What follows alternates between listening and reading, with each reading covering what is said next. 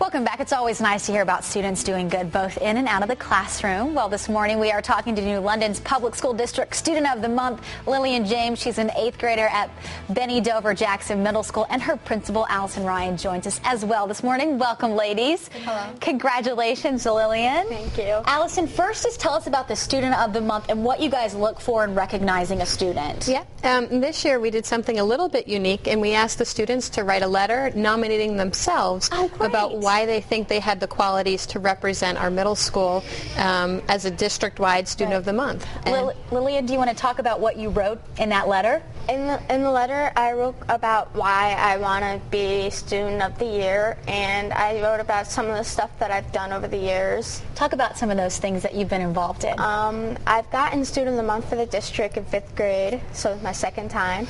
I've also I worked with the Fresh Garden, and I've done, and I also helped make did I crocheted hats for the NEO unit for at Lawrence Memorial That's Hospital. great. Talk about why it's important for you to be involved in organizations, not only in school, but outside of school too, get involved in the community. It's important to me because it's a, it's good to be involved with other things than besides just involving with yourself. Right. Like to help others and to like Yeah, that's exactly right. To help others, and that's what we all need to remember to do. Not only during Christmas, because I think people think of it in the holiday season, but to be like Lillian and do it throughout the year. Allison, talk about how Lillian is in school as an example to other students. Lillian is that kid that every parent at 13 wishes they had. um, she's well spoken. She helps others. Um, you know, when students feel like they might need a friend to talk to, Lillian is that friend.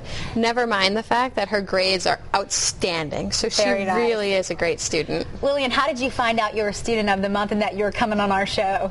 no. okay.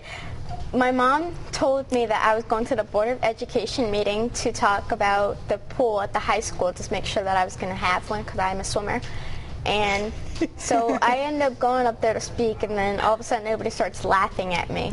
So I get up, and then I end up finding out that I am student of the month and student of the year. Were you shocked? Yes, actually. And how did they tell you you were coming on our show? Because that was a surprise too, right? You didn't know that. Yeah, they told me at the Board of Ed meeting, and then she shared it with um, the whole school in the morning news. So they, are they all watching now? You want to say hey to all your friends? I don't know if they're watching.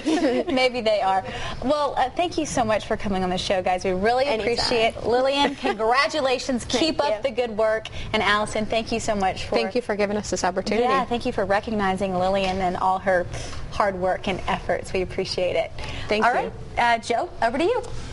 All right. Uh, right now we have across the area a couple leftover showers uh, from yesterday's heavy rains. See Doppler showing a few showers uh, dotting up uh, out of Middlesex County up through the Hartford area. More showers in this southerly flow. The cold front's not through yet.